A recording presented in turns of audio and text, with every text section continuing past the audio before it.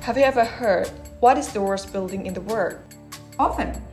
Whoever isn't bad and good very relative? Yes. This is an architect who is ashamed of his work. Kengo Kuma is one of architects who embarrassed over his work. One of it, M2 building. M2 building was designed as Matsuda's car sales room. It now operates as a funeral hall which is located in Tokyo, Japan. I feel embarrassed by some of my buildings. M2 building is like a montage where it comes from various different elements such as ionic column, arches that are united on the basis of the function of the building. The design is a mix of small blocks, corbels, triglyphs, and arches, all at different scale. Although it appears to be made of masonry, the structure is actually reinforced concrete. Dominating this eclectic assembly is a large column with a short, simplified shaft. Ionic column is slimmer and more ornate than the early Doric style. The Ionic column is one of the Greek order. The voluminous or scroll-shaped ornament on the Ionic capital above the axis is the defining characteristic of the building. Arch as a curved structure for spanning an opening form from the arrangement of rocks flanking each other. The use of wall structures in buildings has existed since prehistoric times, such as ancient Egypt, Babylonia, and Greece. But its application was only to support small structures, such as in a warehouse and on-roof supporting columns. So it cannot be used to build larger buildings. Then the Romans succeed in developing this arch structure so that it could be applied to large buildings.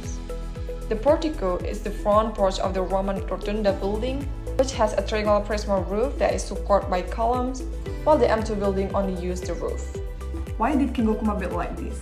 He means the characteristic of traditional European buildings, not Japanese. The M2 building itself is very cultural with Greek or Roman culture.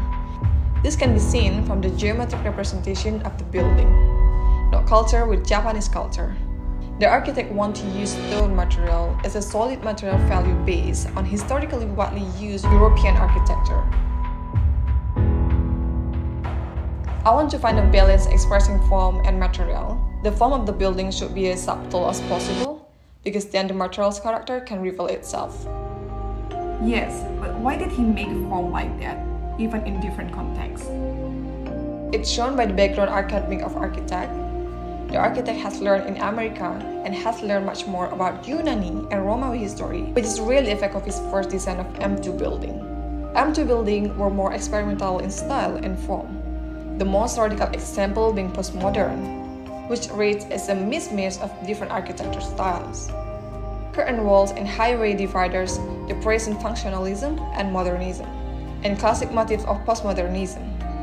Incorporating this free-floating collage, is meant to express the emergence of a new post-industrial relationship between the workplace and home. For History Reference Bureau, regarding stone materials, they are considered to have durability or longer life in buildings. So this is why Kengo Kuma using Yunani and Roman historical for his reference. This greatly expresses how the architect's curiosity about how to make M2 building because this is a combination of classical and modern side. The classical expression is shown mainly in the ornaments, geometry, and the volume of the building, while the modern is shown more clearly in the materials that use glass and iron as the structure. And the M2 building can be categorized into Chironic classicism because the building itself is more classically Greek and Roman than modern.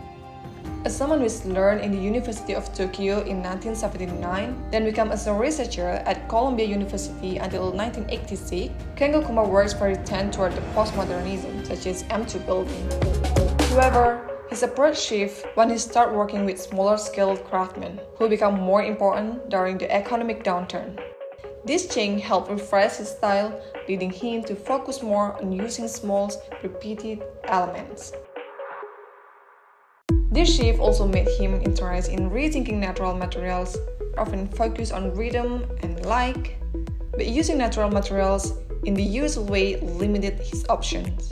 So, Kuma began experimenting with the materials like stone, treating them as if they were like other materials like wood or glass.